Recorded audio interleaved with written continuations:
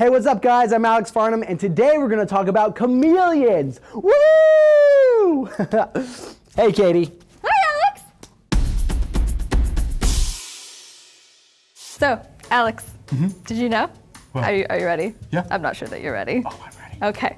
Did you know that chameleons can change colors? Uh, yeah. They uh, do it for camouflage to hide from predators. A Oh, there- derp. But get ready because a new study has been studied. That's right, a study was done by ASU's School of Life Sciences that proves chameleons change color not only just to hide, but to communicate with each other.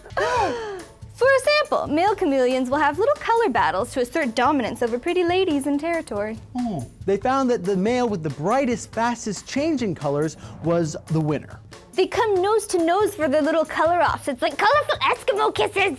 But because the winner was often decided based on physical ability to change color quickly, the loser simply backs down before any violent physical contact can be made. What's up, bro? so. You got a problem? Oh yeah, this is this is my spot. Right Oh, really? here. Yeah. You really think it is? Yeah, this is You my really think it favorite. is? Oh yeah. You feeling good? You oh feel- yeah. Oh yeah. Are you? Really good. You feeling really good? Are you Yeah, sure? yeah. Are you sure about it? It's like a rainbow you're a really bright rainbow. Oh, I So there you go. In chameleon land, flamboyancy is considered masculine. You know, I wonder what an actual chameleon fight would sound like. Well, that's a good question. Why don't we ask Tay over at Animal Takedowns? Tay?